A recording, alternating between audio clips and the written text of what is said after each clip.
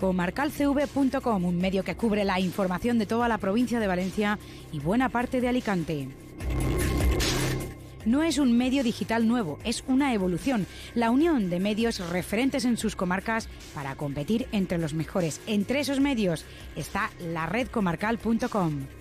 No lo dudes, visita comarcalcv.com. Ofrece un histórico detrás de 1,3 millones de páginas vistas en 2016 y cerca de 800.000 usuarios únicos. Cuenta con una hemeroteca de más de 26.000 noticias. Todos los días visita comarcalcv.com.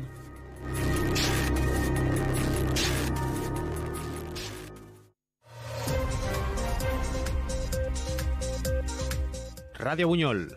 Servicios informativos.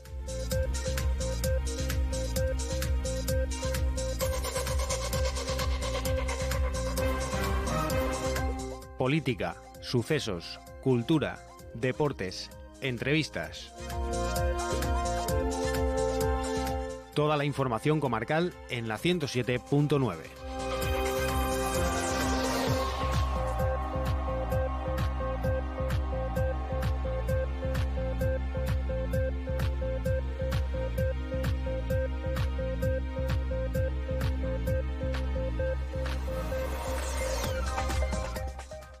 Bienvenidos a una nueva edición de los servicios informativos de Radio Buñol. Como siempre comenzaremos con nuestra lectura de titulares. Recordamos el calendario fiscal para este año 2022 del Ayuntamiento de Buñol. Publicado el proyecto de adición de un tercer carril en el tramo de la A3 entre Buñol y Chiva. Cheste presenta el Festival de Arte Urbano Grafitea en Fitur. El Ayuntamiento de Cheste convocará una oferta de empleo público en el marco de la reciente Ley de Interinos. Chiva declara el 2022 año Morea en homenaje al pintor chivano José Morea, fallecido en 2020. Detenido un joven de 26 años por profanar varias tumbas en Cheste. Y por último, en el apartado deportivo entrevistaremos a Vicente Ricarte, presidente de la ALFT, por la última tirada que celebró la asociación el pasado domingo.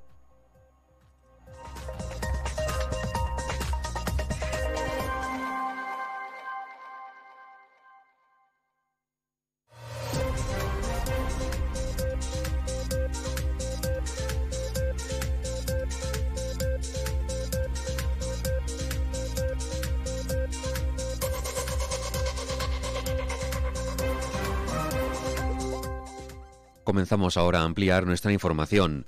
La Concejalía de Hacienda y Recaudación del Ayuntamiento de Buñol informa del calendario fiscal previsto para este año 2022 en la localidad. Hay tres periodos de pagos diferentes, del 1 de marzo al 2 de mayo, del 1 de junio al 1 de agosto y del 15 de julio al 3 de octubre. En el primer periodo de pago, el contribuyente pagará del 1 de marzo al 2 de mayo la tasa de recogida de basura, el suministro de agua potable, el impuesto sobre vehículos de tracción mecánica y los vados. En todos ellos se cargarán las domiciliaciones el 2 de mayo. El segundo periodo de pago será del 1 de junio al 1 de agosto. Ahí deberá pagarse la tasa de tratamiento de residuos sólidos. Los cargos domiciliados se fraccionan en dos, el 1 de julio el 50% y el 1 de agosto el restante 50%.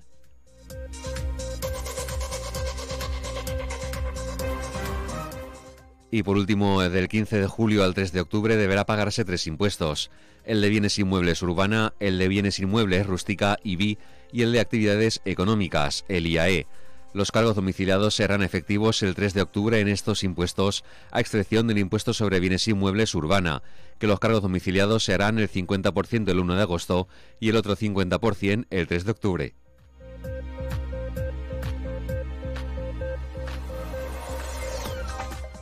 Todos los que deseen hacer algún trámite pueden hacerlo accediendo a la página web www.sede.dival.es, apartado Oficina Tributaria. También pueden acercarse a la oficina de recaudación en el Ayuntamiento de Buñol o llamar al 96 250 0151.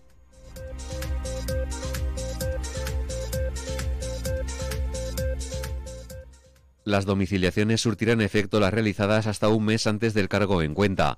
Será indispensable aportar justificante de titularidad de la cuenta bancaria, la libreta, recibo o certificado de cuenta y DNI con autorización en caso de no ser el titular de la cuenta.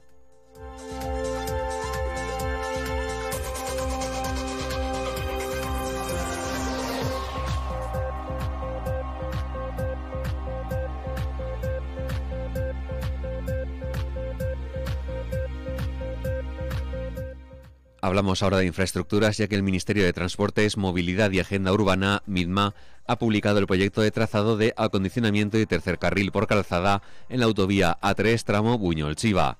La longitud de la actuación es de 9,1 kilómetros y el presupuesto estimado asciende a 44 millones de euros.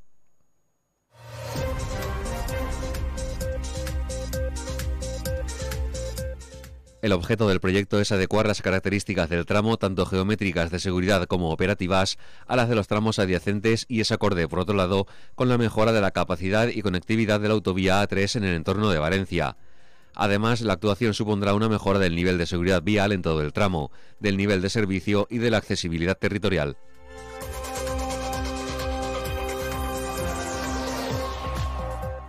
El proyecto contempla las siguientes actuaciones Variante de Buñol, puntos kilométricos 316 más 900 a 319 más 285.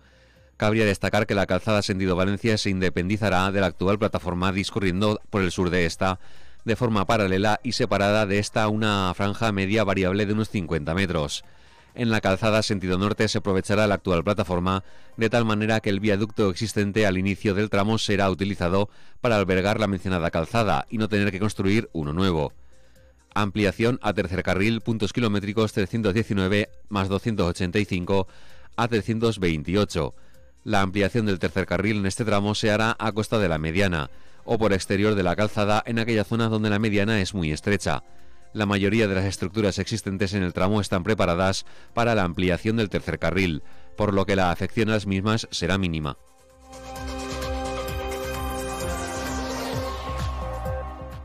Por último, se acometerán las actuaciones necesarias para adecuar los enlaces a la nueva realidad, con los objetivos de la mejora de la funcionalidad, la seguridad del usuario y de la capacidad.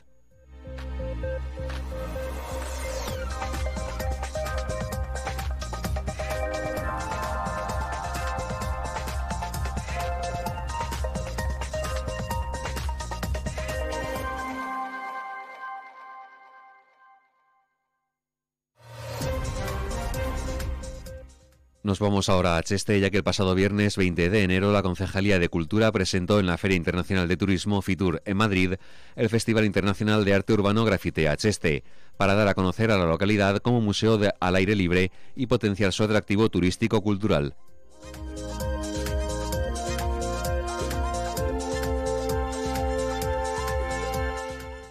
La concejala de Cultura, María Ángeles Llorente, hizo una ponencia para poner en valor esta iniciativa, con seis ediciones a sus espaldas. Lo que pretendemos con Grafitea es generar un espacio de arte al aire libre, democrático y público, con voluntad didáctica y pedagógica, ya que es una herramienta importante para la formación cultural del pueblo y por ello ha contado siempre con la vinculación de los centros educativos tenemos ya más de 100 intervenciones murales de temáticas diversas a cargo de más de 80 artistas nacionales e internacionales, que han convertido espacios degradados en obras de arte. Por todo esto, Cheste forma parte de la red de arte contemporáneo de la comunidad valenciana y en el 2020 el festival fue reconocido como mejor iniciativa cultural en los premios al buen gobierno de la Federación Valenciana de Municipios y Provincias, explicaba la concejala.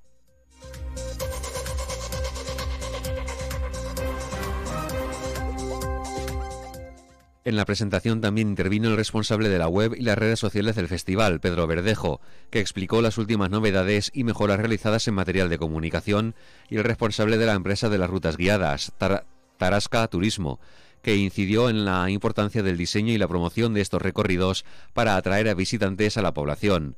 El ayuntamiento ya ha editado cinco guías del festival, ha instalado códigos QR en todas las obras, ha creado la página web grafideavcheste.com y perfiles en redes sociales y organiza rutas guiadas por profesionales durante todo el año.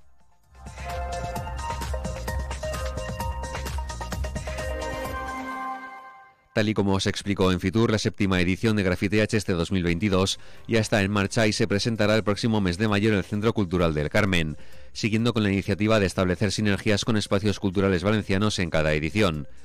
En 2021, Grafitea formó parte del reconocimiento a Josep Renau que impulsó el IBAM y la próxima edición incluirá un homenaje a otro importante artista valenciano, Josep Segreyes. Además, seguirán adelante las últimas acciones reivindicativas incluidas en el festival, Muros Conscientes y Feminist Art.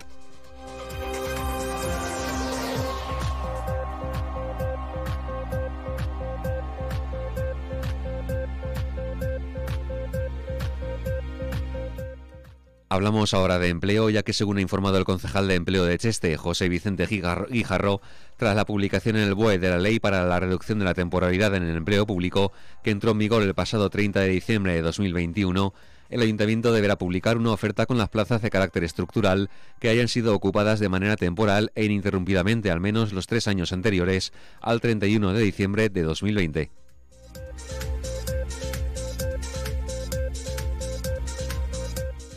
Según apunta Guijarro, el sistema de selección será el de concurso oposición, con una valoración en la fase de concurso de un 40% de la puntuación total. El sistema de concurso oposición puede traer numerosos beneficios, tanto para el ayuntamiento como para sus trabajadores y trabajadoras.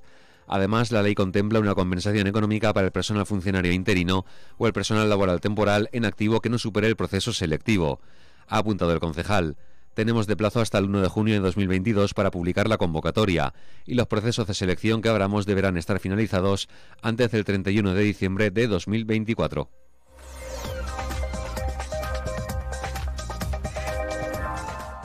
El concejal de empleo ha remarcado que el proceso que se va a iniciar en el Ayuntamiento de Cheste debe hacerse conforme a la actual normativa, que establece unos límites a la promoción interna de las personas funcionarias.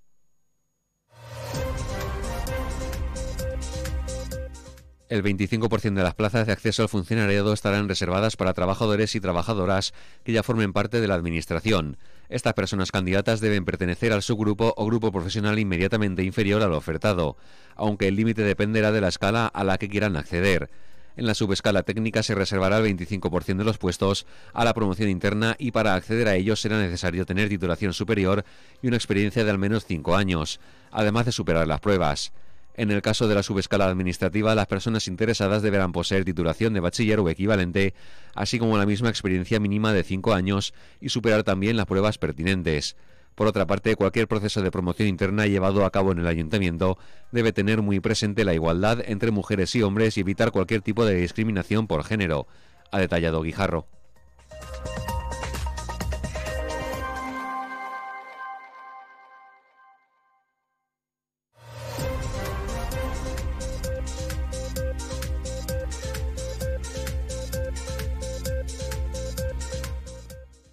El Ayuntamiento de Chiva aprobó en el pleno de ayer, martes, declarar 2022 como Año Morea, un homenaje a José Morea, el célebre pintor chivano fallecido en 2020.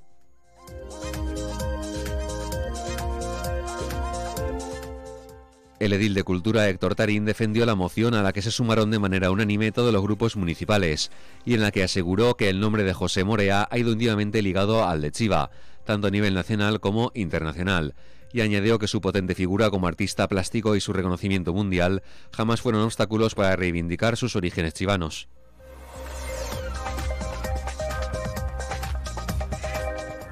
El concejal afirmó que ha sido una figura relevante en la renovación del lenguaje pictórico del siglo XX, con una producción nómada que destila una libertad de creación propia y de sus viajes vitales, reivindicando lo atávico y sus raíces rurales, su amor por la tierra, la agricultura o las personas de su pueblo. Su relación con Chiva y, muestras, y nuestras costumbres han quedado reflejadas en muchas de sus obras, siendo así un muy buen embajador de nuestra idiosincrasia chivana.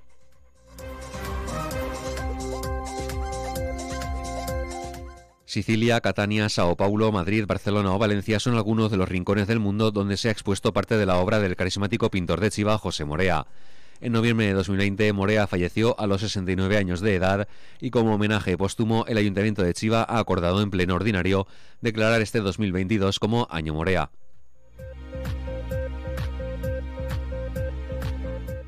El objetivo del consistorio es programar toda una serie de actividades culturales y divulgativas con la figura del artista y su prolífica producción como hilo conductor, así como declararle hijo predilecto y poner una calle su nombre.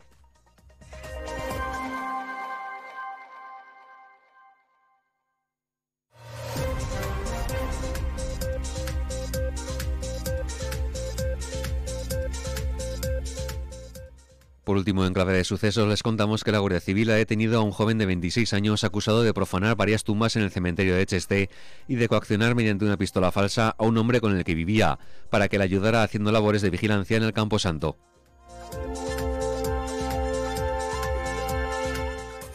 Según han informado este martes fuentes de la Benemérita, la detención ha sido posible en el marco de la operación Dovecose, iniciada el pasado 8 de enero a raíz de una denuncia sobre la profanación de varias tumbas en el cementerio de Cheste, donde incluso se encontró un ataúd abierto que dejaba a la vista el cadáver. La noche anterior se había recibido una llamada telefónica en el Centro de Coordinación y Emergencias de la Generalitat Valenciana, en la que un hombre manifestaba que estaba presenciando como unos jóvenes intentaban forzar la entrada del cementerio de Cheste.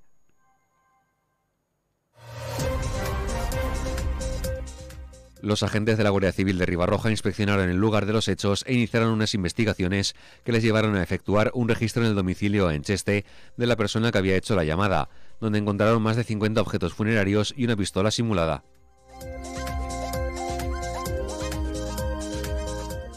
El objetivo del presunto autor de los hechos era sustraer el mayor número de objetos valiosos de las tumbas y de los cadáveres, y para conseguir sus fines llegó a coaccionar a otro hombre con el que convivía, usando una pistola simulada para que le ayudase haciendo labores de vigilancia en el cementerio.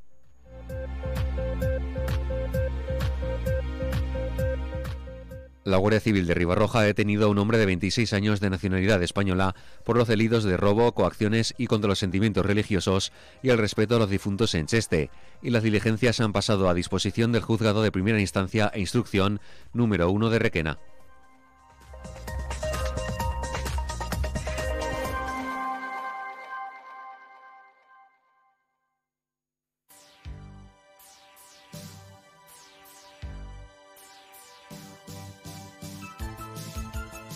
Tocomarca.com Un nuevo medio de comunicación para la olla de Buñol Chiva. Un periódico semanal. Ágil, moderno, profesional y de calidad. Las nuevas tecnologías al servicio de la comunicación. Con la posibilidad de acceder a la información a través de la edición impresa y nuestro portal en Internet. Con profesionales de la comarca para acercarte la actualidad más próxima.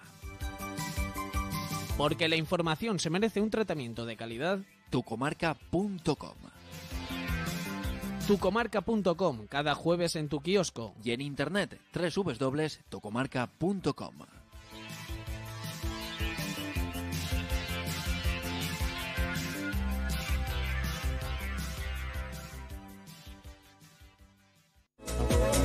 Hoy un clic, el nuevo diario digital de la olla de Buñol Chiva.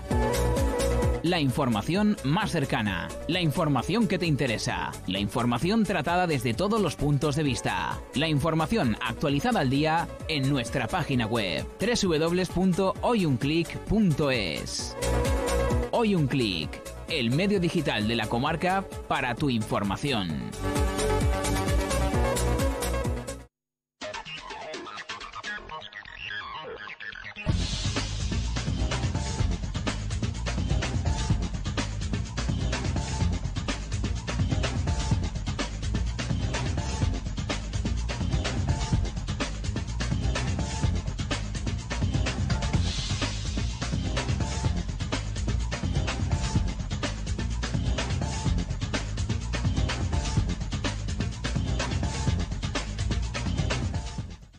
Abrimos ahora en el apartado deportivo, apartado de entrevistas, para recibir a Vicente Ricarte, presidente de la ALFT de Buñol, ya que el pasado domingo la asociación realizó una nueva tirada en el campo de tiro Los Cohetes de Buñol.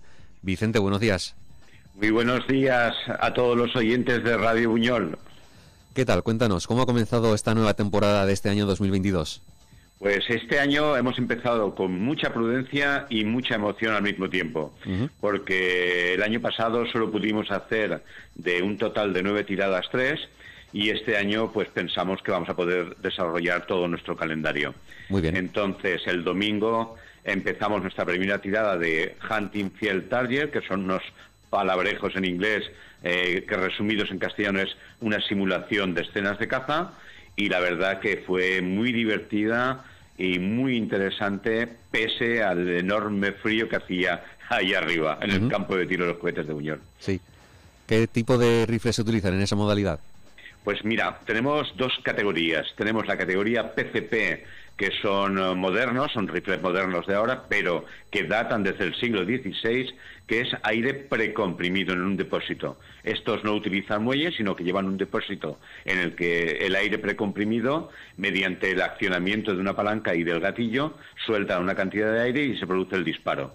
Y luego la, la, categoría de muelle clásica de toda la vida, que todo el mundo conoce y que son muy sencillos. O sea, es abatir un cañón, eso acciona un resorte y se carga el perdigón y se puede ya disparar. ¿Y cómo se desarrolló el día? Pues el día muy frío, pero a la vez muy interesante porque apenas tuvimos viento. Una de las grandes dificultades para tirar con aire comprimido es que la escasa potencia que tienen los, eh, las armas de aire en comparación con lo que serían las armas de fuego hace que el cálculo de la trayectoria del tiro esté muy afectado por el viento y tengas que estimarlo. Como no hubo mucho viento, pues fue una delicia, porque donde apuntabas y con apenas correcciones, si tenías un poquito de pulso, le dabas. Claro, claro. ¿Y nada, tenéis previstas próximas tiradas en fechas cercanas? Eh, nosotros, mira, este año eh, la Asociación Levantina de Fiel Target, junto con otra asociación en Seraco, que son los amigos del aire comprimido de Seraco, hemos eh, combinado nuestros calendarios de manera que en total, eh, entre las dos asociaciones, vamos a tener durante el año 2022 20 tiradas, lo cual nos va a dar una cantidad de tiradas y de modalidades increíble. Lo nunca visto. Ah, además que sí, además que sí. No tenemos todavía ninguna fecha, ¿verdad? Eh, sí, la, nuestra, o sea, este domingo próximo eh, tienen en Seraco, en el pabellón deportivo de Seraco, una tirada de modalidad Benrech, el domingo por la mañana. Y nosotros nos, vamos a ir ya al mes de marzo, que tengo que decir la fecha exacta, creo que era la primera semana del mes de marzo. Muy bien. ¿Y nada que deben hacer los interesados en participar y también en apuntarse a esta asociación? Pues eh, es muy fácil. Eh, pueden entrar en nuestra página web, simplemente tienen que ver ALCT, Asociación Levantina de Fiel Target, y ahí tienen eh, cómo comunicar con, nosotros. También les puedo dar mi teléfono móvil, Vicente Ricarte, 629 953 761 y pueden hablar conmigo para lo que cualquier duda, cualquier pregunta, en fin, todo todo lo que necesiten saber sobre nuestro deporte. muy bien. Ya para terminar con nuestra entrevista, Vicente, ¿quieres añadir alguna última cosa más? Pues, pues sí, como siempre, eh, agradecer enormemente el apoyo del Ayuntamiento de Buñol a nuestro deporte. Llevamos desde el año 2008, y parece mentira, han pasado ya 14 años. O sea, el apoyo del ayuntamiento es, eh, es vital y de su concejalía de deportes, por supuesto. O sea, que agradecerlo. Desde el AFT no podemos más que estar muy agradecidos. Muy bien, Vicente, pues muchas gracias por habernos atendido y esperamos que salgan bien esas próximas tiradas. Pues sí, muchísimas gracias y nada, estamos a vuestra disposición. Muy bien, Vicente, hasta pronto. Hasta pronto.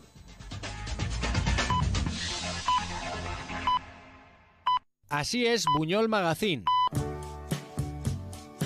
La revista de comercio, ocio y cultura de Buñol ya disponible en kioscos, comercios colaboradores e internet. En ella encontrarás información de actualidad, servicios, alimentación, cultura y mucho más. Así es Buñol Magazine, despertando tu interés.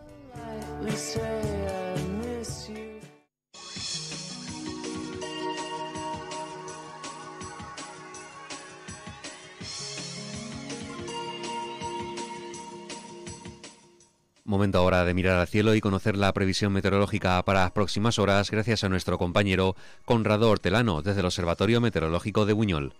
Buen día desde el Observatorio Meteorológico de Buñol. La noche pasada la temperatura mínima ha sido de 4 grados positivos y la máxima de 11. A primera hora de la mañana la humedad ambiente al 94% y el viento de 10 kilómetros por hora. El pronóstico para la jornada de miércoles 26 de enero, todo apunta que tendremos cielos con nubosidad variable y las temperaturas, tanto máximas como mínimas, no experimentan grandes cambios. Las temperaturas mínimas a primera hora de la mañana en las poblaciones de la comarca. 4 grados hemos tenido a Buñol, al Parque Eólico, a Chiva y Cheste. 6 a Godelleta, Turís y Calicanto. Y 4 grados positivos a Loriguilla y Reba. La nit passada la temperatura mínima ha sigut de 4 graus positius i la màxima de 11. A primeres hores del matí la humitat ambient al 94% i el vent de 10 km per hora. El pronòstic per la jornada d'avui dimecres, 26 de gener, tot apunta que tindrem ser amb nuvolositat variable i les temperatures, tant màximes com mínimes, no patiran canvis significatius. Les temperatures mínimes a primeres hores del matí en les poblacions. 4 graus han tingut a Bunyol, al Parc Eòlic, a Xiva, a Xes. 6 a Godelleta, Torís i Calicanto i 4 graus positius a l'Origuilla i Reba. I de moment és tot. Des de l'Observatori Meteorològic de Bunyol, bon dia i fins demà.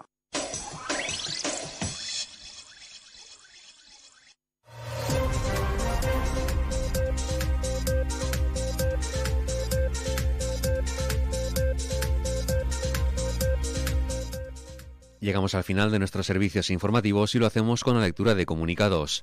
La cooperativa de Buñol informa que ya ha comenzado a repartir el aceite en horario de 9.40 de la mañana a 12 y media de la tarde, de lunes a viernes. Por otro lado, recuerdan a los agricultores que venden sus cosechas que la fecha para sacar el rejepa es del 1 de febrero al 30 de marzo. Ya se puede pedir cita en la oficina de Chiva.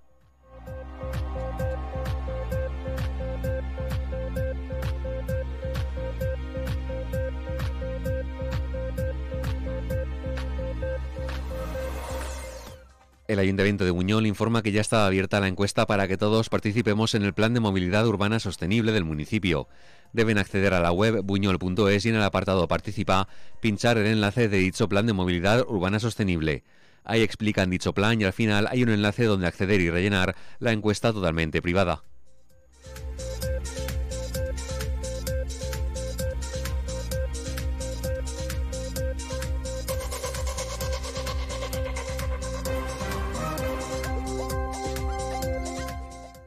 La Falla Reyes Católicos y Adyacentes de Buñol comunica que va a realizar su presentación fallera el 5 de febrero a las seis y media de la tarde en el Teatro Monte Carlo.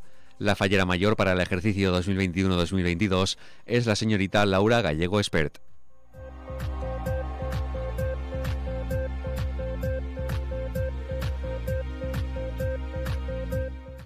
Se compran TVOs antiguos de 1940 a 1965, también álbumes de cromos antiguos. Todo aquel que cuente con ello puede ponerse en contacto a través del 722 34 17 76.